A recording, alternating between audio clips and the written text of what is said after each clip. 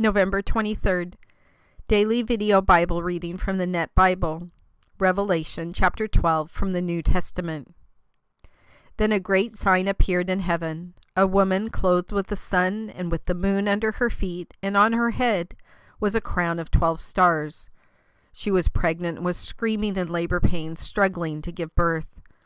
Then another sign appeared in heaven a huge red dragon that had seven heads and ten horns, and on its heads were seven diadem crowns.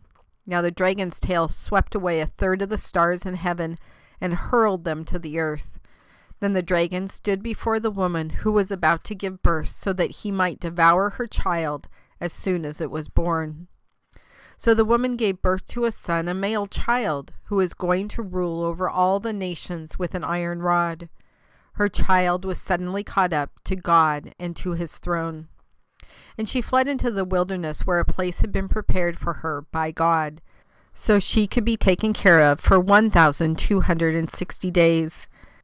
Then war broke out in heaven. Michael and his angels fought against the dragon, and the dragon and his angels fought back. But the dragon was not strong enough to prevail, so there was no longer any place left in heaven for him and his angels.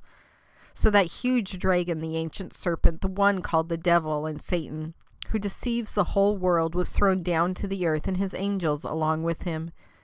Then I heard a loud voice in heaven saying, The salvation and the power and the kingdom of our God and the ruling authority of his Christ have now come.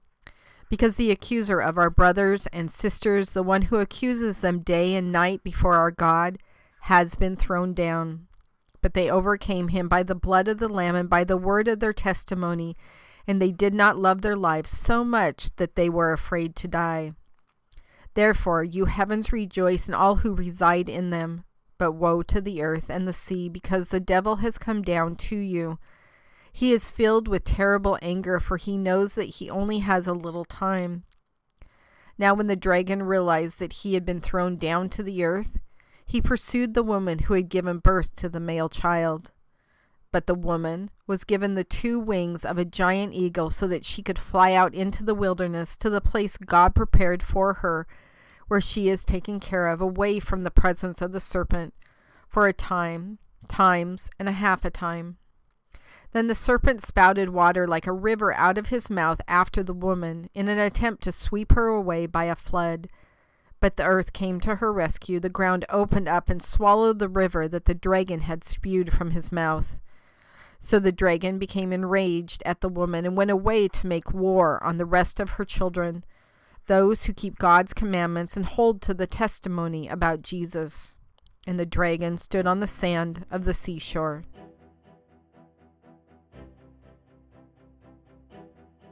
God, in Revelation, you show us a few more facets of Satan that we're going to be going up against, especially during end of times. Right now, we're dealing with Satan. Uh, we sadly don't give him enough credit for all of the terror that he causes and all the, the problems he causes here in the world.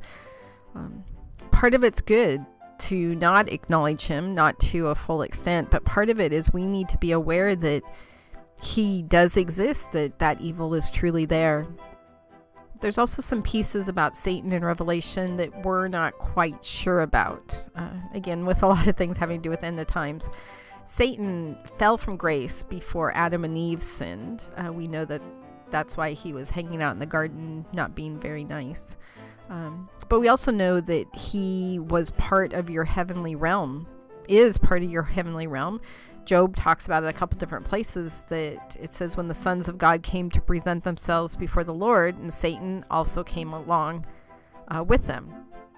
Um, so we actually see that uh, he still had position up in your heavenly realm. And then this passage in Revelation talks about his being thrown down to earth. Now, some people believe that this has already happened, and that's why all this destruction is happening here on earth. Uh, other people believe that it hasn't happened yet. Again, it doesn't really matter one way or the other because we simply need to acknowledge uh, your sovereignty, uh, your power, and your control over everything and I hate to say this, but we are a little bit like Satan. Satan wanted to be God. And truly, especially before we're saved, we want to be our own gods. We want to build up our own kingdom, have our own entitlements, have our own power. We want to be our own God. So we're not too far off of the same desire that Satan had in pushing you off the throne and, and taking control. God, even though I don't want to compare any of the people that you've created to Satan, not in the slightest, um, but I do know that that desire to have your own kingdom and your own power and your own control is is overwhelming at times. That desire to choose what we want what we selfishly want over what you want for us which you've uh, created us for uh, is something that's very hard to give up and you're very clear with us in the Bible that we have to give up everything that we want to get everything, meaning everything that you have desired for us, that you've created for us. Um, and Satan never wanted to give any of that up. In fact, he continues to fight for it as we speak and as we read about Revelation will continue to to the end of days uh, when his final destruction happens. God, our desire to want control, our desire for our own kingdom is sinful incredibly sinful. Our desire to be belligerent and disobedient to what you've called us to do, what you've asked us to do, what you've commanded us to do, uh, is nothing but sin in our lives.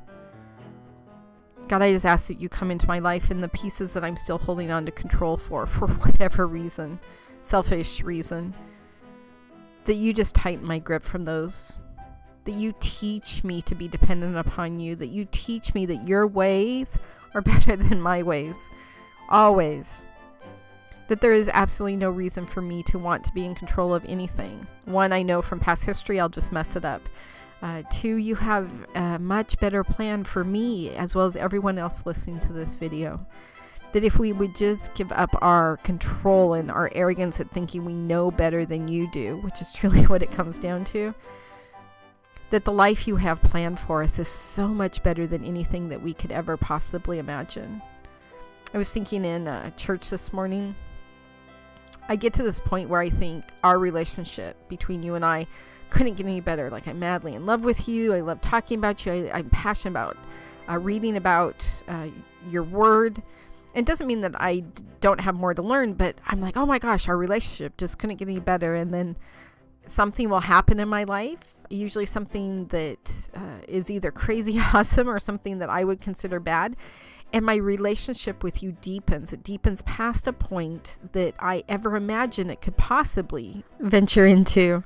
You've shown me things in this world that I didn't think were possible. You've shown me true miracles in this world. You've brought joy to my life, unlike anything that I ever experienced just on my own. And it only came because you taught me how to let go of the control I was trying to keep on my life and allow myself to be dependent upon you, giving you all the glory and all the honor for your sovereignty in my life and the entire world. That letting go of control now also plays out when I disciple people, allowing me to not make it about me that they have to do this and they have to do this and this has to happen this way because uh, it won't i know it will happen in your timing god so i'm a lot more relaxed doing discipleship work i'm still black and white about stuff but i'm a lot more relaxed in the sense that i just wait to hear your voice i do what you tell me to do uh, and we move forward from there.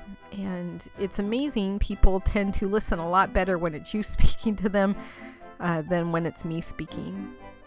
So, God, allow us to take uh, wisdom from the fact of what we see Satan doing in all of these passages, trying to gain control, trying to gain power away from you, trying to do things his own way. And in the end, we know that he is ultimately destroyed for what he tried to do. Allow us in our own lives to realize that we are trying to do something very similar, trying to gain control and be gods of our own world. God, allow us to be obedient and empty our lives at your feet. Allow our lives being to be filled with you, with your love and your grace and your mercy for other people. In your son's name I pray. Amen.